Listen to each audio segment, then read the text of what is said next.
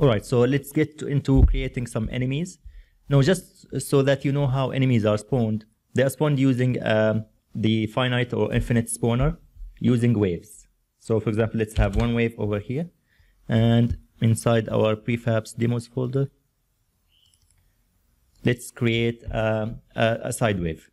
So I'll go into create, Shmup Boss, waves, side spawnable waves. Let's call this one side one. And you'd see over here that this spawner uses waves and your enemies, which you will create from here, will go inside uh, that wave. Uh, so again, to recap, a wave inside here and that wave, an enemy will go inside. It's just once we create it, it will be more clear. So I'll go to edit, Shmup Boss, agents, and create simple mover enemy. And once I've created it, I just like the player, I just add a prefab to it.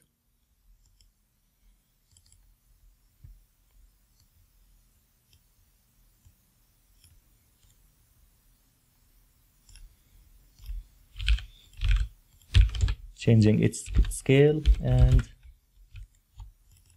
just let's move it out of the way. So right now we have our player completely ready to be used, just uh, our enemy, sorry.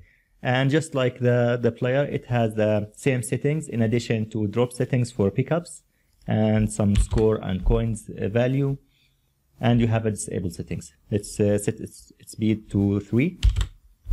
And we'll get into those in a moment. And let's just use it inside a wave inside demo. I'm going to first make a prefab and I'm going to drop it inside here. Let me rename it into simple one. Now, uh, names actually make a difference. So for example, if you have an enemy called simple one over here and in another folder you have the exact same name, the pool can't know the difference. So uh, I even have a message over here.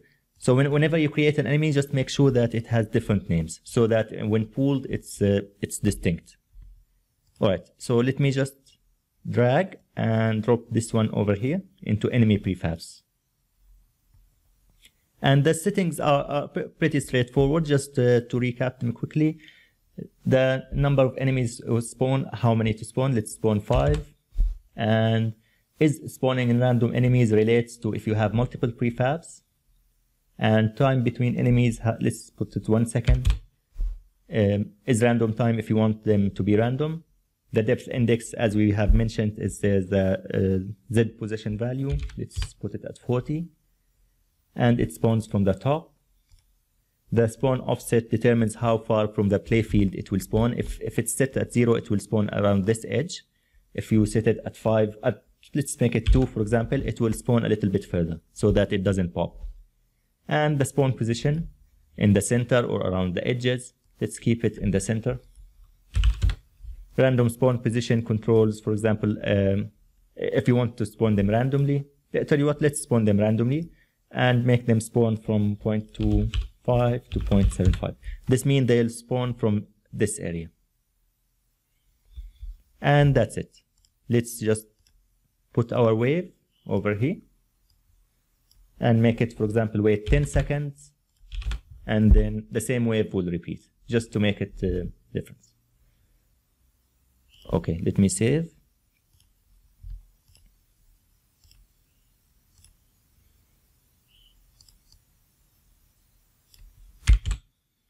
And play.